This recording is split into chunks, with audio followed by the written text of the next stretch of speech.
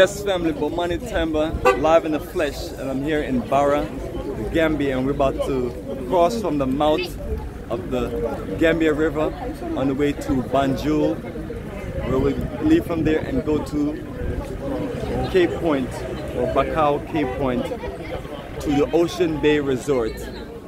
And I got one of my old school reparations t-shirt here.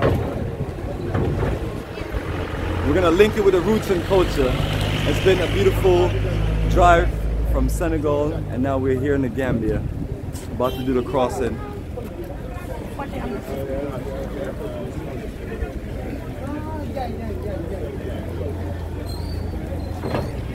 And this is our luxury liner, so no passengers in the vehicle other than the driver to drive the, our bus on. And then once we do that, uh, our bus is gonna be on the you know on the ferry just like you see these coming off. And once the yeah, and once we load up, we're gonna go up to the top and we're gonna have a beautiful view of the Gambia River. And this is the mouth of the Gambia River. And busting up the coconut there. Wow. Know? Now we're gonna get our energy in, family, to where once we get settled at our resort, Ocean Bay, we're gonna just enjoy just a nice, beautiful day. A nice, beautiful dinner. I'm gonna get ready, you know, for, three more beautiful days in the Gambia. You know, we have four days in Senegal and four days in the Gambia. Nice eight-day roots and culture tour, April 2nd to the 12th. And family, we're set for next year, so if you liking the energy, join us April 1st to 11th, 2022. All information is on our website, Africa with Africans.org. Mr. Son, say hello to everybody. Huh? You, you, all of a sudden you shine out?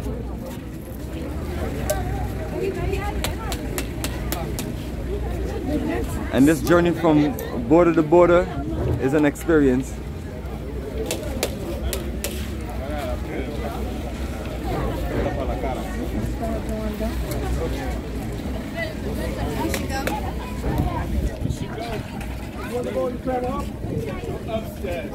All right, family, we're going all the way up to the top, top, top, top. And let's make sure you secure your goods.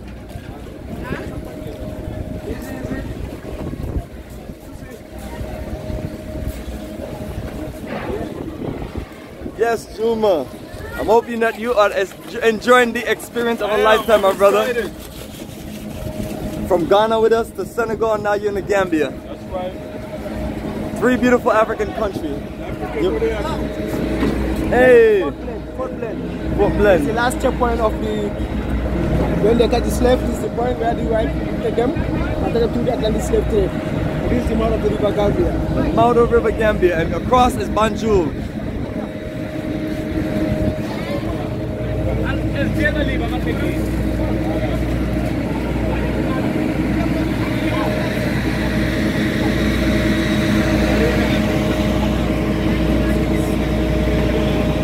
Alright. So family, we're showing you this full experience. We're just gonna take our time and cross up.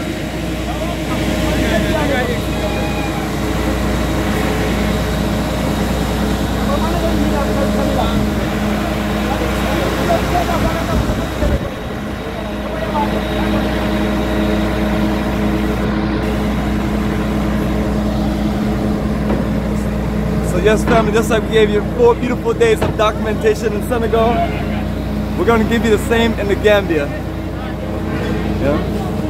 And you know, when we do these journeys, we have wonderful people that are very supportive, that have our back, and are here to connect with us since we do group movements.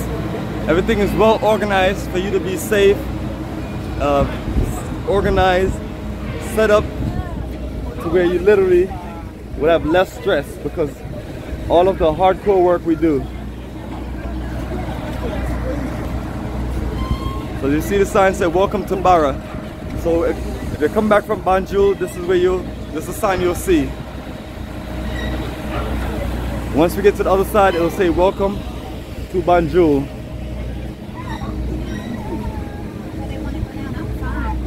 You guys want? They're going down because they feel queasy. Oh wow.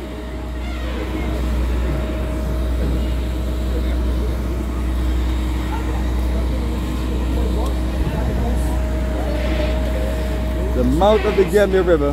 They use these small canoes to carry goods from Banjul and bring them in. Alright, so those boats are safe to cross over this. It's about a 20 minute ride, right? Yeah, And you talk about those boats are safe. They are not actually safe. You know, Africans, we believe in these kind of things. We believe that God is behind us. Oh, those boats so that they'll capsize quick, especially that one over there with about 20 people on there. So, and then of baggage goods inside it. And it's not it's not a it's not a motor that's running the boat either. Yeah, I don't see is there a motor or just there is a motor. Yeah, there is a motor. But when they come closer, they remove the motor. You see the other one, the one down there. You see the motor at the far, the far right down there. That's the motor.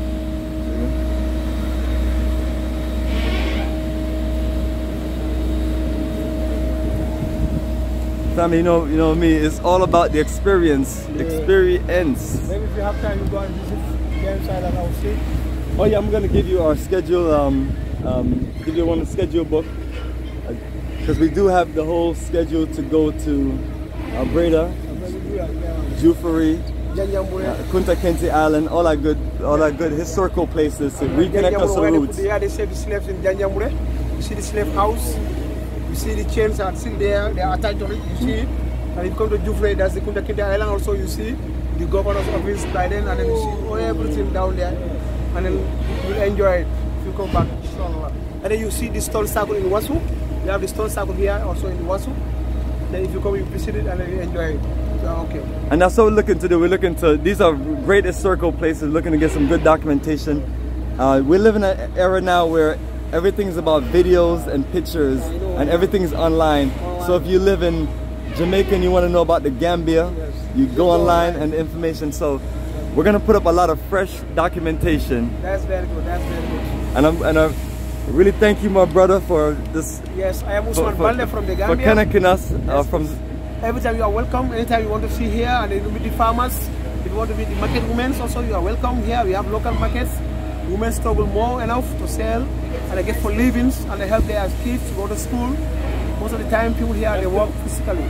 Yeah, thank you very much. There's no problem. If you come, you can go to the local markets. And in the Gambia, the country is divided into different divisions, about, about five divisions.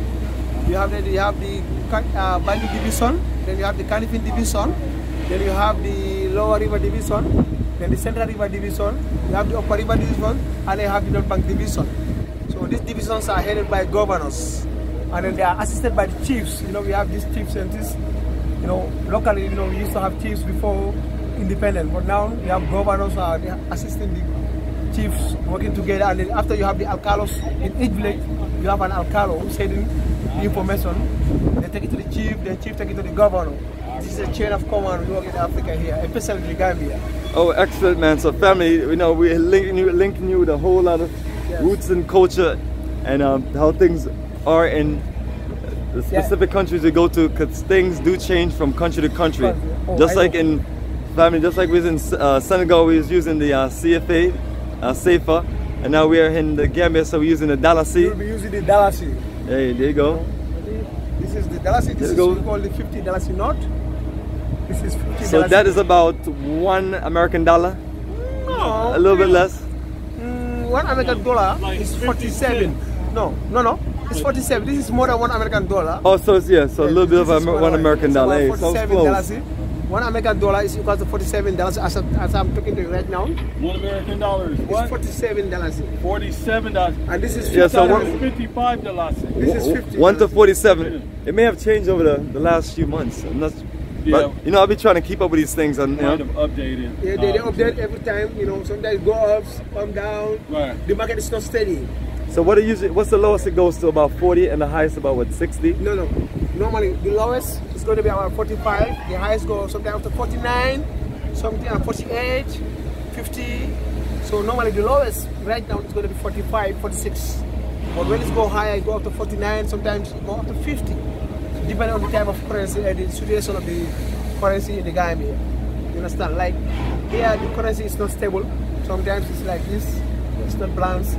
And then the SEPA presently, 1,000, uh, 500,000, 5,000 SEPA is 460 dollars. But now, if you have SEPA, you want dollars, they change it to 450. But if you have dollars, you want to buy SEPA, you buy for 460 dollars. So 10 dollars is, is if you need a SEPA. But if you have SEPA, you want to change the dollars, they remove that 10 dollars and then you have $450. And I'm sure you just confused a whole bunch of people. That's a lot of mathematics and numbers. Yes, but family, I want to know, eh, eh, you get used to it after a while because yeah. every country you go to, unfortunately, that is a different um, Yeah. currency system.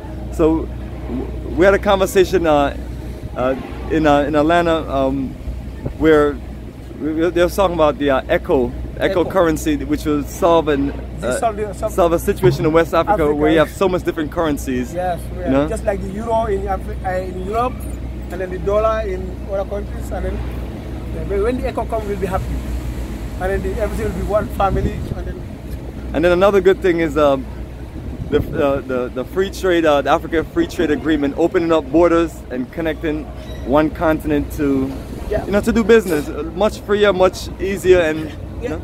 I'm talking on the side of the traveling in Africa, especially in the ECOWAS country, we have one identity card called the ECOWAS ID card. You know, Gambia have the ECOWAS ID card, and then Senegal also have the ECOWAS ID card. Or is it or is it a passport? Is it ECOWAS passport or this ID? We also have also this. We have the ECOWAS ID, and we have the ECOWAS passport. You see in my car. Okay. So we have everything. This is ECOWAS. You see all the African. You see, this is the ECOWAS countries. If you can look inside, you see these African ECOWAS countries. So we have this. Now look at the map of ECOWAS. You see, this is And, and what we're gonna do now is educate people on what the word ECOWAS means. means yes. And so, Economic Community of West African States. It's called Yeah. ECOWAS. and um, how many uh, West African states do we currently have? Pardon? How many how many countries in West, West Africa makes up ECOWAS? West Africa. What is it? 15, 16? uh, 17 countries. 17 countries. Because you know Mauritania, they didn't join because they are with the sub-Saharan Africa. They just they are they said they are a part of us. But like here, we have Gambia, Ghana, Sierra Leone, Nigeria, Guinea-Bissau, you know, all these African countries Yeah, here. Cape they Verde. Yes. They make up the Yes, west. yeah. And Yeah, yeah. East is another block. Wow, yes. Yes, and that's the uh, East Africa. Uh, East African Federation is another Federation, block. yes, yes. But I, I just feel like that's what you have to do. Uh, if you know you regionalize, Yes, everything. then you continent and then we organize. come- come organize, yeah. Like we have the African Union. Like I saw, I personally work for African Unions. The African Unions include up to South Africa. You understand? Rwanda, Burundi, all we are all part of the African Unions because I work for them in the mission area. So African Union is considered everything. So after the ECOWAS, we have the African Union. Then now they are planning to make sure that the whole Africa come together. Then we use one currency called the ECO. The Afro. Africa. so it will be okay, very good. That is what's But up. African Union is very is include everybody. But ECOWAS, some countries within West Africa, they don't even join ECOWAS. Like as I told you, country like Mauritania, they didn't join, you know. So they are not part of ECOWAS. Because here in ECOWAS, when one country have an issue or a problem, the other, the other countries member state come and help you. Whether, whether it's medical problems, whatever, physical, financial, you know, strange, they come and help you and then you sort out yourself and then you move on. You try to maintain peace to one another. Here we exchange, we have almost the same language. Like if you have a Fula in Gambia, you have a Fula in Senegal, you have a Fula in Guinea-Bissau, you have a Wolof in the Gambia, you have a Wolof in Senegal, you have a Wolof in Guinea-Bissau. Same like Mandinka in the Gambia, Mandinka in Guinea-Bissau, Mali. in Senegal. So we are all intermarried. Like I personally, I marry a Serere woman, I'm a Fula. So we are not from the same tribe, but we can marry, we can intermarry. Here we don't care about the, uh, the tribe when it comes to time of marriage. You only marry the best woman you want. There you go, there you go, family. And family, once again, the countries that we talk about are artificial borders that was drawn doing, you know, like we mentioned uh, earlier on another recording, uh, the uh, my mind is like somewhere else. Talking about the borders. uh, yes, uh, always trying to let everyone know that uh, these these borders weren't never always that way. It was recent. You know? Yeah, like the reason of this bordering is concerned about the, let's say about the colonialism. Africa was, the whole Africa was here, in the West Africa was called Sudan. So, And then the Berlin Conference is what really changed everything. yeah, the, yes, the Berlin come and they take Where everything. we had, when the European comes, the first European explorer to visit the Gambia was Albisco Gadamosco and Diego- Gomez. In 1455 they came, they just stopped at the mouth of the river Gambia, just at this side here, I'm telling you, where they stopped for the first time. After, they were able to sail for a bit time, but the mosquitoes disturbed them. So they went back. The same year they came back, they were Albisco and uh, Gadamosco and the Mungo Park also, they sailed deep into the river Gambia, up around Bansam area. So that's where Mungo Park have a malaria, and he, he, he finally passed away. And he was, his graveyard is still there in Karantaba. His graveyard is there. The rest of them they sailed back to Europe. So when they catch slaves from Casamance, Guinea-Bissau, they bring them to the Gambia. You know, the, the British were taking care of the Gambia, the Portuguese were taking care of Guinea-Bissau, and the French were taking care of Senegal. So they are pushing and pulling about the river Gambia. But the British insisted. That's why Gambia became a small country. They were just following the river. They were just interested in it because they know the river is the only, the only means of transportation of slavery. Because by then we don't have flight coming. don't have You- trains, they none of those things existed. ships, They us, they sail. So when they take the slaves from not from the uh, from the south bank, they take them to a village called or a town called Janjanbureh. So when they reach Janjanbureh, they keep them there. After some time, they drag them from Janjanbureh, they bring them to Fort uh, to James Island. You know, from James Island, they drop them to this place here called Fort Blaine. Here, this is the last point of the slave trade. That point you see. So brothers mentioned the family. Yeah, so this is the last point of the Fort Blaine. So when they come here, they will drive from this Atlantic Ocean, and they come here, then they take the slaves, put them inside there, and take them to Portugal, America, and other countries. And perfect family. And family to add some uh, correction information now when we talk about slaves, we're talking about captives and stolen Africans. Stolen Africans. Um, but yeah, but uh, just to give people, you know, an idea, Yes. whenever we use the word, because we're more, most of us are always going to be familiar with the word slave. Um, Yeah, but they but- come and stole Africans here. Yeah. and just like you know the, the locations of where our people are taken and you know it becomes an African Holocaust uh, memorial and reconnection. Yes, yes, yes. So we're, we you know we're also adding terminology to explain things a little better to our people yes. uh, like that we were stolen and in different places And then divided and brought all over the world. was not suitable. They you know, put in a chain and then hung up. You have less food together. You know there was not enough food, and then things were not normal at that time with them. So when they take these slaves, put them in a very small, narrow areas with a small call. Later maybe I will take you down there. You see, you know, and they have small area where they hand them down. As now after the abolition of the slave trade, then most of the people were unable to come back, but some of them were able to come back. That's why we have the apples from Sierra Leone, South Africa, they have this, you see the, the white people and the Africans who were dropped there, others came to Ghana and also able to come back to Gambia. So Kunda was a great slave.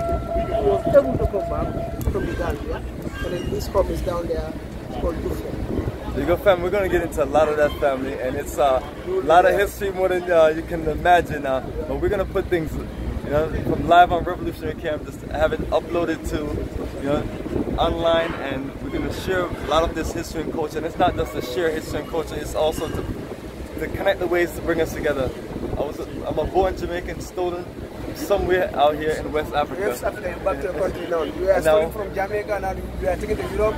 Now you there, your great grandfathers are from Jamaica, now you are in America, now you are in the Gambia. So the same thing applies to many Gambians who are stolen from Gambia, Senegal, Guinea-Bissau, and they are moving to Europe.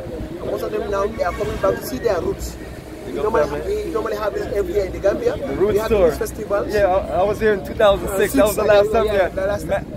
I- that was wonderful. The Roots Festival. I remember being at the national um, national stadium. stadium. Yeah. So this time when you come for the roots, you take to the villages, you see how our people have their local dances and the system of Africans, you know, you know, of origin of use duties and how we operate, and then the kind of food we normally eat during festivals, we operate, and then you see. You go, family. So, so family, that's what we're going to be doing. We're going to be sharing with you. Uh, our itinerary is set up as a roots and culture itinerary. Uh, uh, that way, sometimes you can't make a specific roots festival, but we just turn our tour into a, a real roots and roots and tour festival. But what I'm going to do, family, we're going to continue to give you a little bit more. Uh, we're about to from here in Barrier and okay, so it's closed now. Uh, as you can see, family, the boat is pulling off from the from the dock now. Yeah, from the dock now it's pulling, going to Banjul. And It's Mo, from Barra, it's going to Banjul. Before it was called Bathurst. Before the independent. So now and how long is the ride over? depending on the depending on the tide.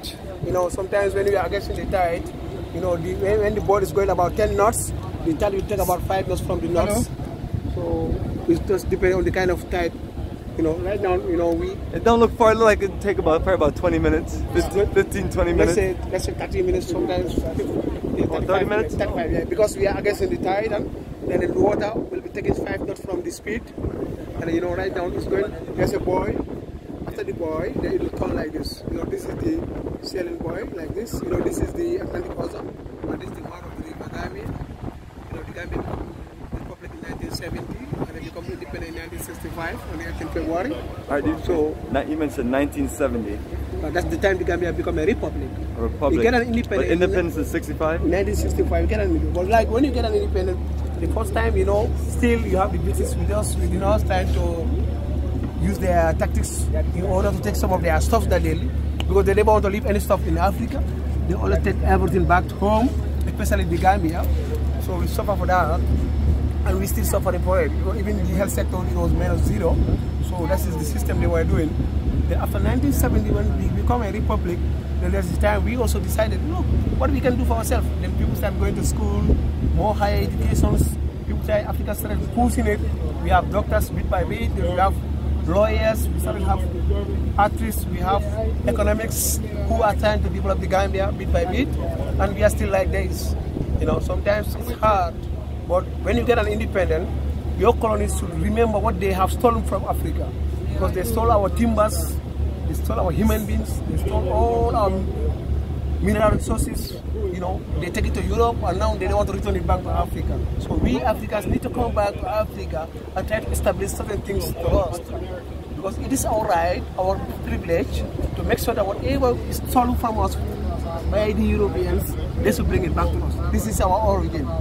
That is Africa. The place at the Gambia, the smiling coast of Africa.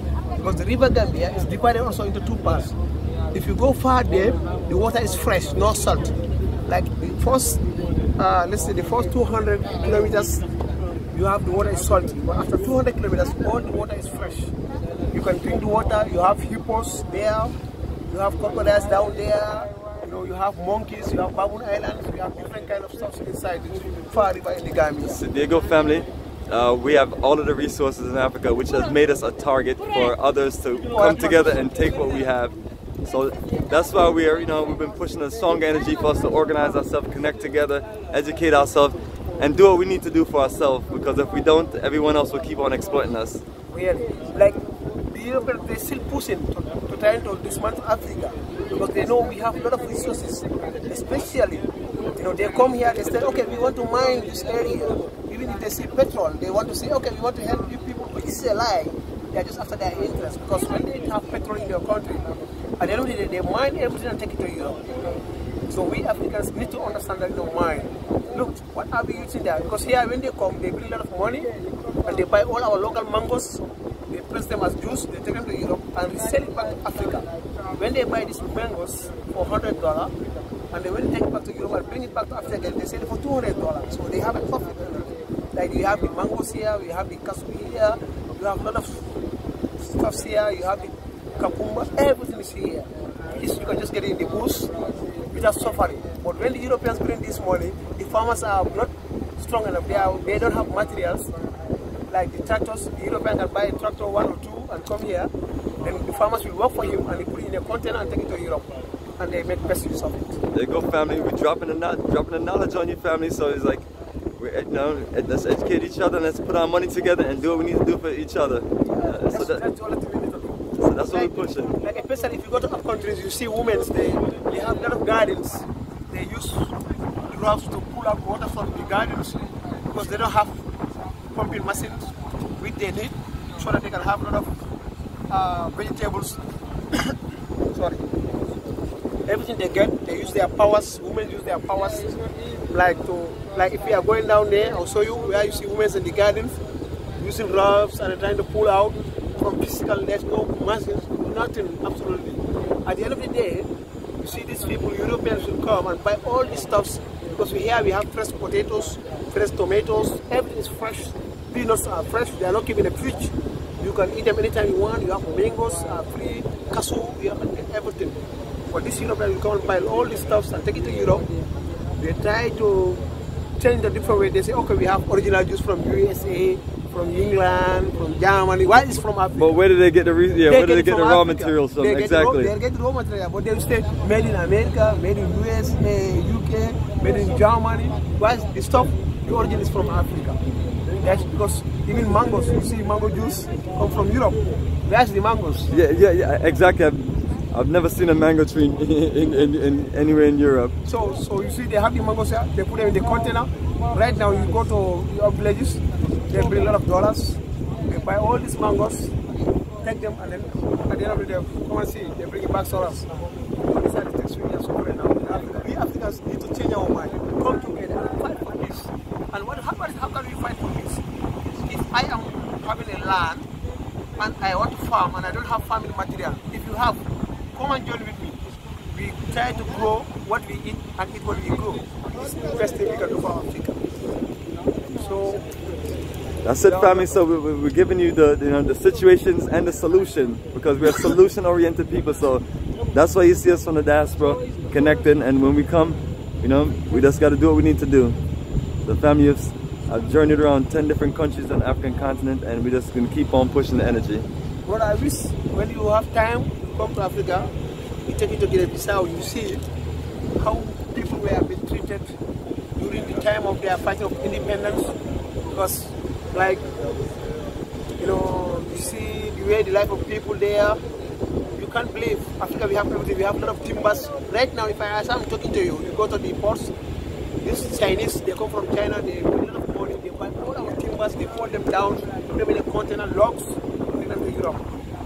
So the government here, because the government is poor, because Africans are not coming back to Africa to help Africa. So it's only the white people coming, not helping Africa, but instead taking our resources. And when they take these timbers there, they make a lot of furniture, after they them, they bring them back to Africa and sell it back to us, which is very expensive. Right now, peanuts are right now outside the country. People are buying peanuts, you can make peanut oils, make everything fresh. But what they do is, they come and buy the peanuts and go to Europe, containers. After they bring that oil back to Africa and sell it, they say made from USA, made from UK, made from Germany, where is from? The resources from the guy or Africa in general. This way. There you go, family. Dropping that knowledge on you, and family, we're gonna Yeah. take a break on that, and we're gonna literally show you. Yeah, and you can, you can see the port is all the way back, and and our, our luxury liner is uh, somewhere down at the bottom. As you can see, family, we are on the move. But family, my brother's dropped a lot of knowledge and information, and we have a whole lot more for you. That's just the beginning. So family, stay tuned. Once again, family, is Bomani Tyehimba live on Revolutionary Camp. We're gonna, we're gonna give you a whole lot more. And as my brother's talking about stolen Africans, I'm rocking.